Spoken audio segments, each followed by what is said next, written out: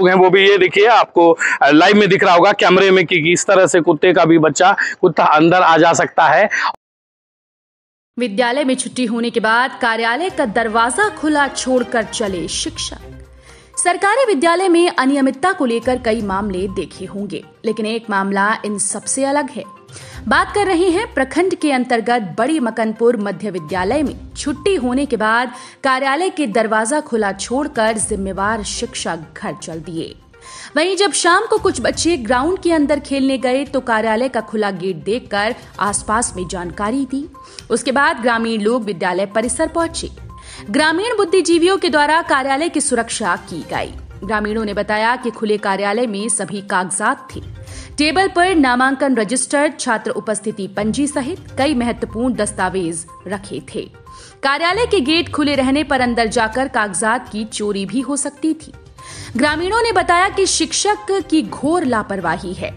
इससे पहले भी इसी विद्यालय में बच्चों के खाने के बाद कुत्ते द्वारा प्लेट चाटने का मामला सामने आया था। विद्यालय के प्रभारी ने बताया कि भूलवश जल्दबाजी में गेट खुला छोड़कर चल दिए। जिसमें ग्रामीणों के द्वारा सूचना मिलने पर देर शाम आकर गेट बंद किया गया। मामले का वीडियो सोशल मीडिया पर वायरल था, जिस पर लोग अपनी प्रतिक्रिया देकर वीडियो को शेयर कर रहे थे। शिक्षा के मंदिर विद्यालय में लगातार आपने लापरवाही और विभिन्न प्रकार के मामलों को देखा होगा, और बिहार के कई ऐसे स्कूलों की भी स्थिति को देखी होगी।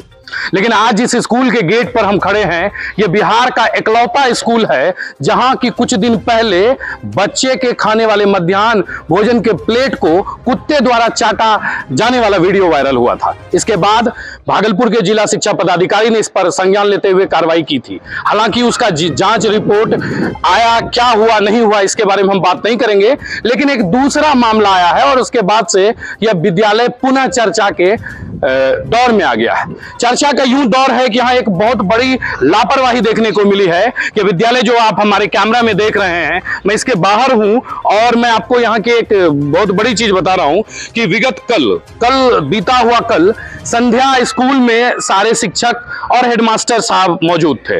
और स्कूल की छुट्टी होने के बाद बच्चे चले गए, टीचर भी चले गए और कार्यालय का गेट भी खुला छोड़ चले गए। कार्यालय का गेट खुला रह गया। सारी कागजात जितनी भी विद्यालय की है, चाहे वो नामांकन पंजी हो या उपस्थिति पंजी हो, शिक्षकों का उपस्थिति पंजी हो, विभिन्न प्रकार के रजिस्टर, कागजात, टेबल पर खुले छोड़ दिए गए। अब इसे लापरवाही कहें, या इसे नजरअंदाज कहें, या साजिश कहें, ये आप पर डिपेंड करता है। लेकिन एक बहुत बड़ी चीज़ जो नज़र आई, ये खुले होने के बाद जब बच्चे, कुछ बच्चे, ये जो ग्रिल आपको अभी दिख रहा है, यह किसी तरह एक बाँस के सहारे खड़ा हुआ है और इसी के अंदर कुछ बच्चे खेलने के लिए ग्रामीण बच्चे गए और उन्होंने देखा कि स्कूल के कार्यालय का गेट खुला हुआ है। फिर इसके बाद उन्होंने ग्रामीणों को सूचना दी और ग्रामीण पहुँचे और उसके बाद ताला बंद किया गया है, जो लगभग आठ बजे रात्रि में जहाँ तक कि हमें जानकारी मिल रही है कि आठ बजे से पूर्ण रूपेण बंद किया गया है, चार बजे से यह खुला था। आगे की रिपोर्टिंग और यहाँ के जो विद्यालय शिक्षा समिति के अध्यक्ष है, वो हमारे साथ हैं, उनसे भी हम बातचीत करेंगे कि कैसे लापरवाही हुई और एक छोटी सी लापरवाही लाखों बच्चों की ज़िंदगी का साथ खिलवाड़ हो जाता। क्योंकि अगर रजिस्टर चोरी होती, अगर किसी भी तरह का, क्योंकि आप जहाँ तक कि बताते चलें कि गोपालपुर प्रखंड में भी विभिन्न विद्यालयों में चोरी की घटनाएँ आई हैं। कई तरह की चोरी हुई है लेकिन यहाँ इतनी बड़ी लापरवाही देखने को मिली है।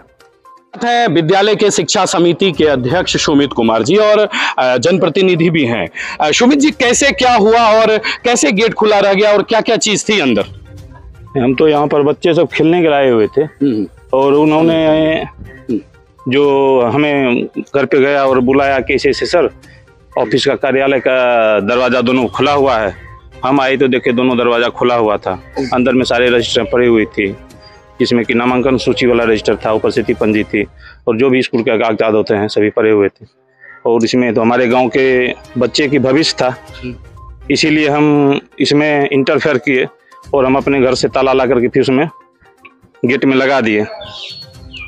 तो उसके बाद हम शिक्षक को सूचना दिए जिस पर शिक्षक भी सुबह करके ग्रामीणों के सहयोग द्वारा इसको ताला खुलवाया गया। मतलब जिस समय आपने देखा था स्कूल को दोनों गेट खुला हुआ मतलब गेट खुला हुआ था तो क्या आपने अंदर झाँक के देखा था? आपने वीडियो भी बनाया है और क्या अंदर में जो है सारा सामान सब यूँ ही पड़ा हुआ था जैसे सब कुछ रखा रहता है? जी जी सर। सारा सामान उसी तरह पड़ा हुआ था। नामांकन रजिस्टर उपस्थिति पंजी जो भी है कागजात सभी उसी तरह पड़ा हुआ था। हेडमास्टर साहब कहते हैं कि एक महज मानवीय भूल है। आपको लगता है कि मानवीय भूल कितने लोगों की ज़िंदगी के, कितने बच्चों के ज़िंदगी के साथ खिलवाड़ हो सकता था? हाँ तो खिलवाड़ तो है ही। हमारे गाँव के ही बच्चे हैं। अभी जो भी बच्चे अभी कुछ कम्पीट करते या कुछ भी होता और नामांकन पंजी उनका गुम हो जाता और उनकी यदि वेरीफाई होता वेरिफिकेशन के लिए विद्यालय आता तो हमको नहीं लगता है कि वो हेडमास्टर साहब वेरिफिकेशन करके देते। अब क्या चाहेंगे क्या मांग करना चाहेंगे? यहाँ के पदाधिकारी से पहले भी यह विद्यालय काफ़ी हाईलाइटेड हुआ था। कुछ दिन पहले एक वीडियो वायरल हुआ था कुत्ता चाटने वाला। वो क्या था उसके बारे में जी सर।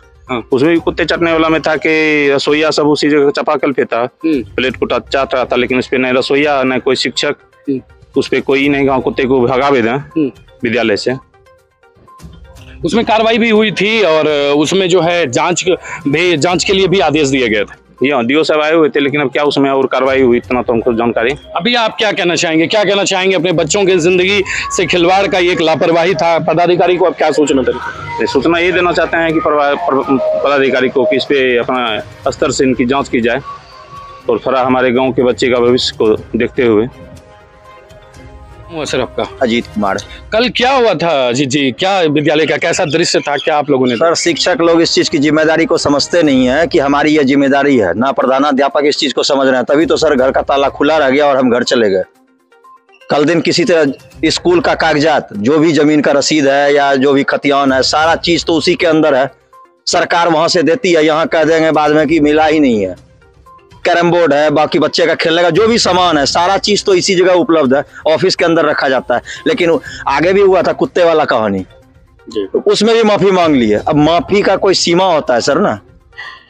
ग्रामीण ने आके ताला खुलवा दिया मेन गेट बंद था तो चलो ठीक है अंदर चले गए। आपकी हाजिरी बन रही है। आप एक लाख डेढ़ लाख रुपए ले रहे हो सरकार से। किस चीज़ का ले रहे हो? ताला भी नहीं लगा सकते।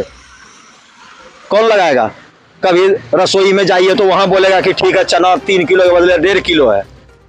कभी चावल जा रहा है गाय के पास कभी कोई रसोईया लेके जा रहा है इस चीज़ का कोई समाधान तो होना चाहिए ना सर? आते हैं सर लोग आते हैं देखे ठीक है कुछ मिला नहीं मिला कहानी खत्म हो गया। ऐसे थोड़े होता है। इनकी भी ज़िम्मेदारी है। कल सारे शिक्षक आए हुए थे विद्यालय आपने देखा था क्या किन्हीं को? बिल्कुल सर शिक्षक आए हुए थे। सारे शिक्षक जी जी। फिर भी सब किन्हीं का नज़र नहीं पड़ा? किन्हीं का नज़र नहीं पड़ा। मेन जो घर के हेड होते हैं मुखिया होते हैं मेन नज़र तो लास्ट उनका होता है ना। हम गलती करेंगे हमारे पिताजी उसको बचाएँगे। अब मुखिया ही गायब है।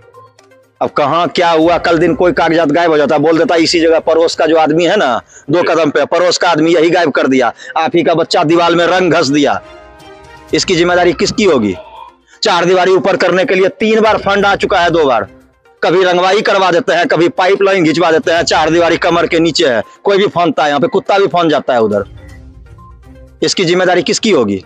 क्या कहना चाहेंगे आप पदाधिकारी से जो भी उचित कार्रवाई हो अपने स्तर से देख लिया जाए अब इसमें हम ये नहीं कहेंगे कि ऐसा होना चाहिए। या एक चीज़ एक सवाल बताइए क्या चोरी होने की संभावना थी जिस तरह सब जगह चोरी हो रही है हम लोगों के बीच में है ऐसा चोरी लेकिन अगर रात भर नहीं देखता तो कुछ भी हो सकता था क्योंकि इसके अंदर चार दीवारी इतनी छोटी है जब कुत्ता घुस सकता है तो आदमी भी घुस के सोता है यहाँ पे।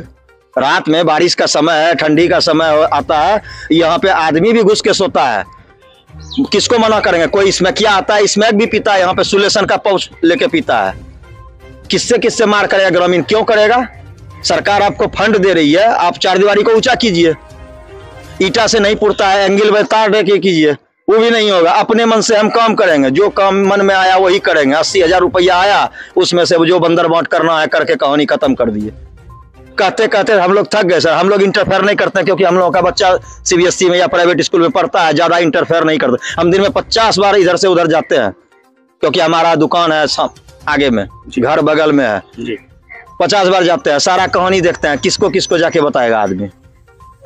क्या ज़रूरी पड़ा अपना खा के दूसरे का टेंशन लेना? लेकिन अच्छा नहीं लगता ना कल दिन अगर ज़मीन का कागजात चोरी हो जाता ऑफ़िस में कुत्ता घुस जाता कुछ भी हो सकता था बस।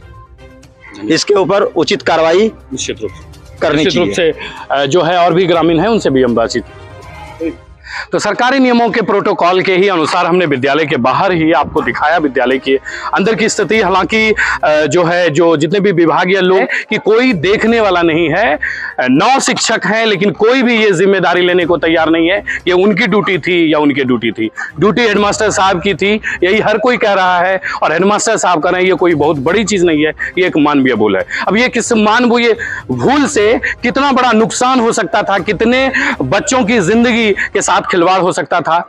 ये आपको भी पता है और आप भी समझ रहे होंगे। अब बरहाल देखना है कि इस मामले में कहाँ तक और कितनी कार्रवाई होती है। कैमरामैन समझ झा के साथ, मैं वरुण बाबू।